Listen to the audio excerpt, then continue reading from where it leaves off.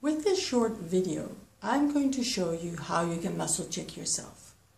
I'm showing you the methods that I use, but that doesn't mean to say that that's the only way you can muscle check. The methods that I use a lot are as follows. I put my thumb and pinky together. The thumb of my other hand I slide through the pinky and the index finger and then I say give me a yes and give me a no. Another way is that you get your thumb and your index finger together. The other hand, you also have the thumb and index finger together. You slide it through and then you say give me a yes and give me a no.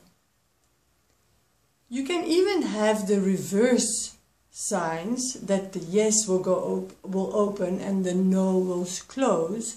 It doesn't matter as long as you see a clear difference between the yes and the no. If you struggle to muscle check with your fingers, you can also use the body rock. You take a standing position, preferably facing north, and then you say, give me a yes. Most people will go forward. And give me a no.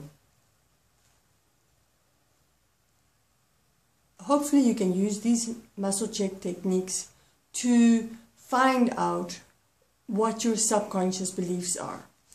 If you want to find out what your subconscious beliefs are, it is important that you keep your eyes closed.